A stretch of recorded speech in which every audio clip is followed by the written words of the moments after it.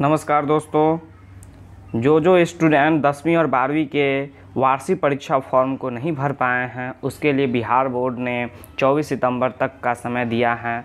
तो आप यदि वार्षिक परीक्षा फॉर्म नहीं भरे हैं तो ज़रूर से ज़रूर भर दें। न्यूज़ आया है कि बिहार बोर्ड परीक्षा समिति ने दसवीं और बारहवीं के बारहवीं वार्षिक परीक्षा 2022 को लेकर सूचना जारी कर दी है। बता दें कि अब छात्र लेट फ़ीस के साथ 24 सितंबर 2021 को फॉर्म जमा कर सकते हैं। तो तो जो स्टूडेंट 2022 में एग्ज़ाम देने वाले हैं और उन्हें वार्षिक परीक्षा फ़ीस नहीं जमा किया है, उसके लिए यह न्यूज़ है। तो बिहार बोर्ड की तरफ़ से यह न्यूज़ आया है और 17 सितंबर तक पहले ये तय था, लेकिन जो जो स्टूडेंट नहीं भर पाए किसी कारणवश, उसके लिए 24 सितंबर का समय दिया है, तक का समय दिया है। तो आप उसके official website secondary Bihar board online पर जाकर आप उसे अपलोड कर सकते हैं अपने वार्षिक फ़ीस को। और ऑनलाइन फॉर्म जमा कर सकते हैं।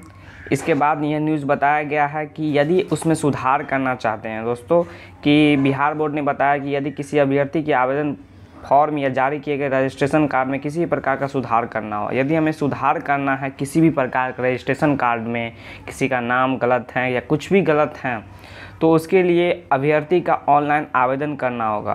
अभ्यर्थी उसे ऑनलाइन आवेदन करेगा, उसमें अपना नाम होगा उनके माता पिता का नाम, फ़ोटो होगा, जाति होगा, धर्म होगा, लो, वह वह फीमेल है या मेल है, और सभी चेंज कराया जाएगा।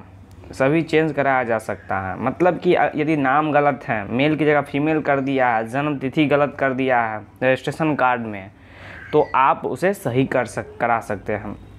तो ऑनलाइन संशोधन के लिए वेबसाइट जारी किया गया है और इस वेबसाइट पर आप अपने डेटा को सही कर सकते हैं। तो 24 सितंबर तक का समय दिया गया है। तो दोस्तों, जल्दी से जल्दी अगर आपका गलत है तो आप भरे, गलत नहीं है तो इसे अप्लाई ना करें। ठीक है दोस्तों? धन्यवाद।